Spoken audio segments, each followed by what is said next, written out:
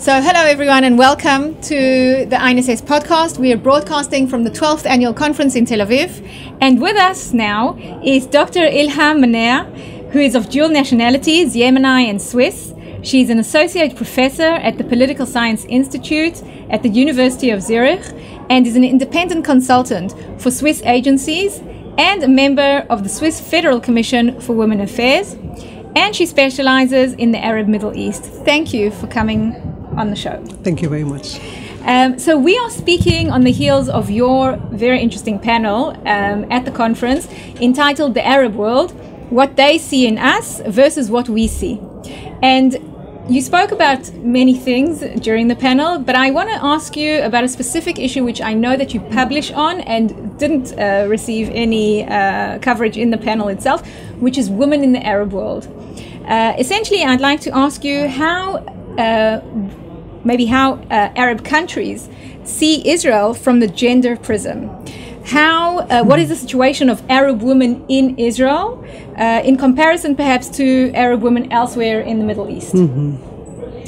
Well, I guess uh, when it comes to perception from the Arab region towards Israel, there's a lot of misconception, okay? But I would put it this way if there's something that seems to be um, coming across, is that the situation of women in general mm-hmm. In Israel is better. Better than than the situation that we are basically facing in, an, in the Arab uh, context. Those who are specialized, on the other hand, okay, and do research will realize that uh, the, the issue is complicated. Uh, look at family laws, and you realize we have here in Israel uh, legal pluralism. Mm-hmm. And that means each religious community has its own family law. And these family laws are religious. And they tend to all to be patriarchal and they tend to make life of women very difficult. Mm-hmm. And I see in that no difference uh, between Jewish women or Muslim women, with all due respect. Mm-hmm. Okay, when it comes to the uh, rights in the family yes. sphere, um, come closer and look at the situation of Arab women. And you realize that uh, uh they, they, they may be actually going through what I called in, uh, in another book, Women in Sharia Law, The Impact of Legal Pluralism. Uh, the, uh, uh, the dual um, discrimination syndrome. What do I mean with that? Yes. On the one hand, they're stuck in their own close communities, okay, certain patriarchal structures, norms and values that put them at a lower level. Definitely. Um, on the other hand, they are within a, a, whole uh, society and system that may uh, be treating them as second class citizen. Okay? you know so you see a certain kind or not really i'll put it this way because i understand israel has uh, its very positive sides okay? But uh, when it comes to the arab minority one realizes there are differences and one cannot basically ignore that. So from that perspective the double syndrome uh, double uh, discrimination syndrome, I would describe it uh, as something that Arab uh, uh, Israeli women uh, may be facing. Do you think that the state should interfere in, in, in internal Arab cultural aspects regarding?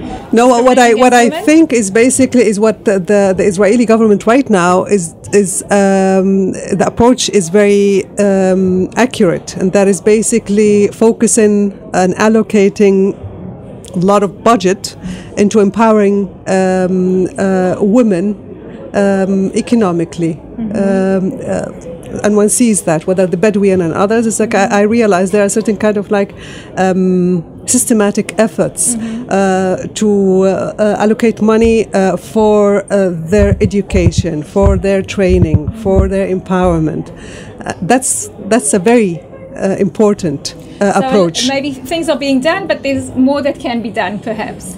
And at the same time, and another question, because that is a very important question that you mentioned when it comes to the family laws. Yeah. So because it's, um, from my perspective, and, and I gave yesterday a talk uh, uh, at the Middle Eastern uh, uh Studies uh, uh, Center um, in cooperation with the Gender Studies um, Center in Tel Aviv University.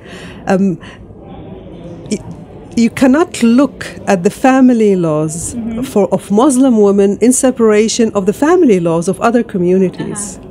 And that would mean that if we are going to um, seek an approach, it has to be a citizenship approach, one that seek uh, the um, uh, establishment and anchoring of the concept of civil marriage. You know, with all the rights that are uh, attached to it, and that allows uh, intermarriage Uh-huh. Across religious lines. But you know, this is a very, Yeah. very difficult issue, Of course. very sensitive Yes. issue. But from my perspective, if Israel is to is to become a, a real normal state, you know, Okay. fully democratic as we see in other countries, uh, in Switzerland, for instance, then it's just basically that would be the step that I would expect.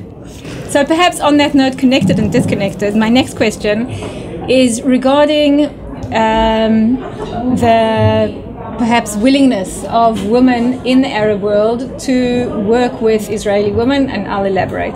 I'm a member of a group called Forum Dvora, uh, Women in uh, Policy and, and National Security, Foreign Policy and National Security.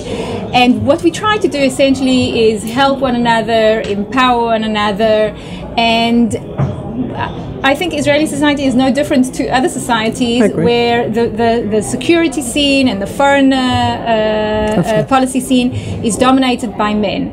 And I'm wondering, firstly, in the Arab world, if similar organizations to Forum Dvora exist, and if here in Israel we would be, we are very interested in uh, in cooperating with women from the Arab world who also are in foreign policy and national security, and uh, and finding common ground. If uh, women from the Arab world will be willing to cooperate with us here in Israel under an, an Israeli identity, and especially in the security scene, which I understand is very sensitive. sensitive. Um, I I don't have names in my mind, but yes, there are a network uh, of professional women uh, working together within the region. Uh, that said, I'm not really sure there is one that is uh, that would be equivalent uh, to your organization, specifically working in the foreign affairs and security um, uh, uh, affairs. Now, working together Yes, the willingness. the willingness. well, I'll, I'll, I'll put it this way. Uh, I'm sure there is willingness. It's, um, I've been talking with, you know, when I write, it's, uh, uh, I get responses. Um, And perhaps this is the place to say that you are exceptional in your uh, willingness and openness to come to Israel, and you've, you're publishing a series of articles about Israel and Israeli society. So uh, I'm sure you also get feedback regarding that. yes, and the feedback is, um, how should I say? It's very uh, mixed. On the one hand, you have those who are, they consider me like a traitor, someone who, so, uh, who sold her soul, okay? Um, they, I have the impression they haven't read the articles because uh, I think I was very fair in the manner that I addressed the issues. Um, and uh, while I'm talking about positive sides, I'm talking also about uh, the problems. But I'm talking about it from, from a perspective that Israel is a state that has the right to exist, okay? And that there are problems and we have to deal with it. And I'm, I'm not going to play a game around these issues, okay?